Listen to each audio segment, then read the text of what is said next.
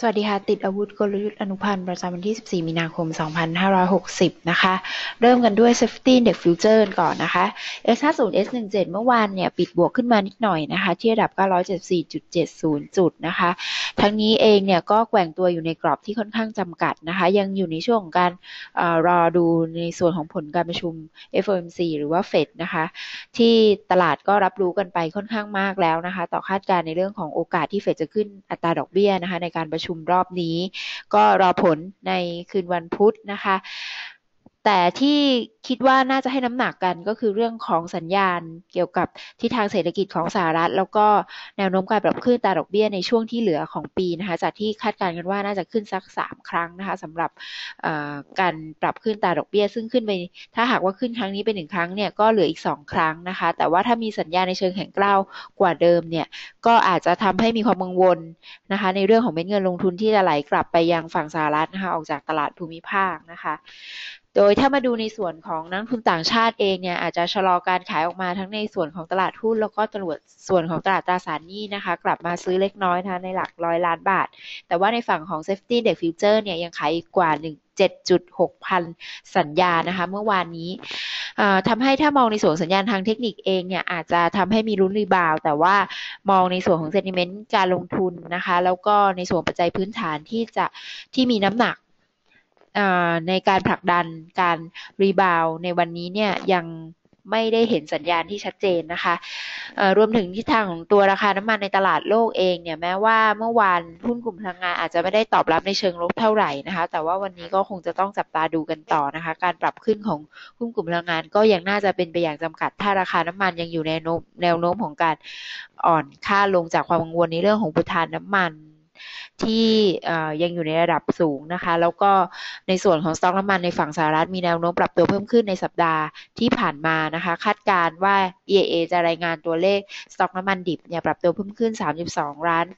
บาร์เรลต่อวันนะคะทำให้มองว่า S50 S17 เนี่ย แนวโน้มน่าจะแกว่งตัวผันผวนนะคะ ไม่น่าผ่านระดับ 980 จุด ถ้าหลุดระดับ 970 จุดลงมาก็น่ามีโอกาสลงมาทดสอบระดับ 964 จุดต่อไปนะคะกลยุทธ์การลงทุนเมื่อวานเปิดช็อตได้ที่ระดับ 975 จุดใน S50 S17 นะคะ ถ้ายังไม่ผ่าน 980 จุดขึ้นไปเนี่ย ก็ยังให้ถือต่อรอทำกำไร 964 ถึง 968 จุด ส่วน Single Stock Future นะคะะหลังจากที่เมื่อวานเปิดสถานะช็อตตัว PTEPH 17 ได้นะคะ ที่ 89.10 นะคะ เราก็ยังมองว่ามีโอกาสที่จะเห็นการอ่อนตัวกลับลงมานะคะ แม้ว่า ราคาที่ปิดรีบาวขึ้นมา 1.02 บาทที่ระดับ 90.06 นะคะ แต่ว่าถ้าดูเครื่องมือทางเทคนิคเองเนี่ย สัญญาณ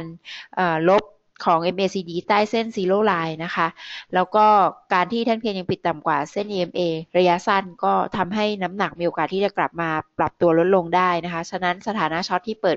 89.10 ก็ยังให้ถือราทำกำไร 86 บาทนะคะ แต่ขาดทุนเหนือ 90.50 บาทค่ะ ส่วน Block Trade Corner นะคะเอออย่างแนะนำตัวเดิมก็คือ b l a n แล้วก็ Jazz นะคะ หลังจากที่ทั้งสองตัวเมื่อวานเนี่ยปรับตัว ราคาปรับตัวลดลงมานะคะ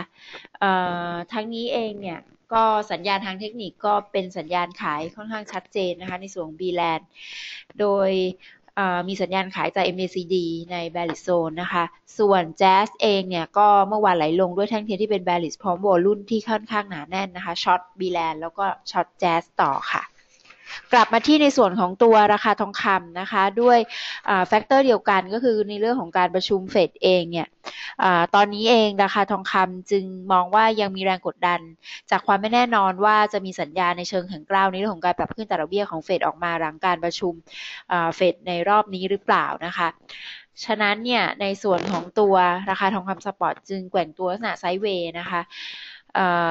โดยกลับมาทรงตัว ที่ระดับใกล้ๆพันสองเหรียญหลังจากขึ้นไป test ระดับประมาณ1,210เหรียญแต่ว่ายังไม่สามารถผ่านแล้วก็ขึ้นไปยืนได้นะคะก็มองวันนี้น่าจะ sideway ในกรอบประมาณ 1,195 ถึง 1,210 เหรียญนนะคะ ส่วนการเลือกตั้งเนเธอร์แลนด์นะคะ ในวันพุธก็ตลาดคาดการว่าในส่วนของอฝั่งที่สนับสนุนให้ทางเนเธอร์แลนด์เนี่ยจะออกจาก EU เนี่ย ยังไม่น่าจะชนะการเลือกตั้งนะคะ แต่ว่าก็ต้องจับตาดูว่าจะพลิกความคาดหมายหรือเปล่านะคะ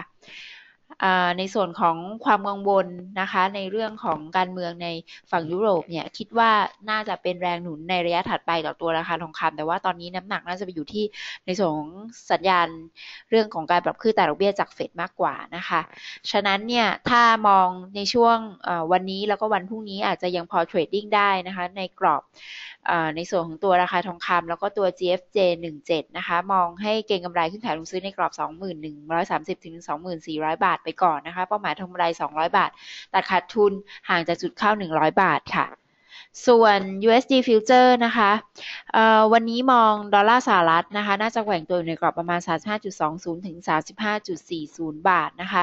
แต่ว่าถ้ามีสัญญาณในเชิงแข็งกร้าวในการที่จะเร่งปรับขึ้นตดอกเบี้ยของเฟดนะคะ